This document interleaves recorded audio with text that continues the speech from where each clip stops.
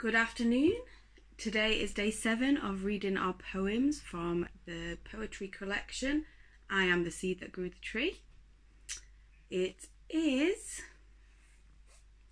the 26th of April 2020, and today our poem is about the adult female horse, whereas yesterday it was about the baby horse. So this is the foal, and then today our poem is about a mare, which is an adult female horse.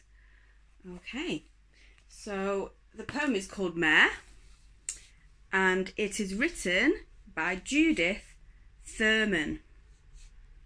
Mare. When the mare shows you her yellow teeth stuck with clover gnawed leaf, you know they have combed pastures of spiky grasses and tough thickets.